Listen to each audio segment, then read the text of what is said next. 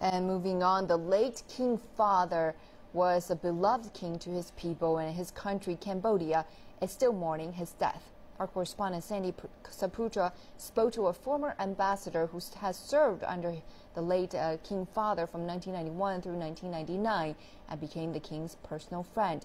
Here's a close look at the man that became one of Cambodia's greatest kings.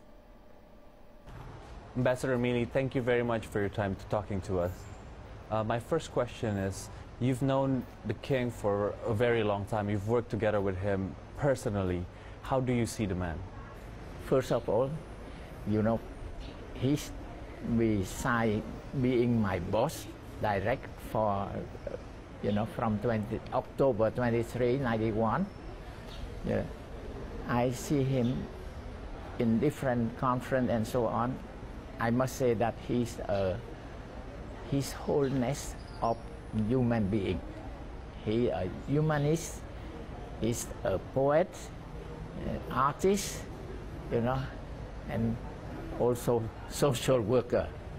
Well, Cambodia certainly have had uh, gone through a turbulent time. Uh, how, how was the king during that time, uh, during the low point of Cambodia? He see uh, Cambodian in a you know miserable way. He sometimes cry in within himself you know, in front of miserable thing and so on, so on. Sometimes we feel, you know, very sad that we cannot help. He really have to pushing from inside, want to help to do something for his children. Ambassador, the king has been called many things, the father king, uh, an independence hero. How do you see him? What is his biggest legacy for Cambodia? Peace. Peace. And, you know, peace of mind peace of social peace, that is the condition for the reconstruction, the rebuilding the, the country.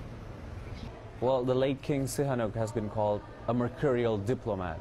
He has many friends around the world, including China. How did he see China?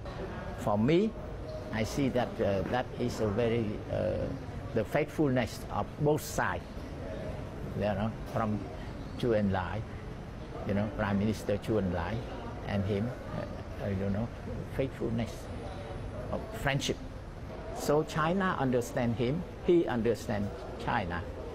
This is one big, you know, uh, point, the understanding, and also uh, no, uh, you know, uh, mingle in the internal affairs.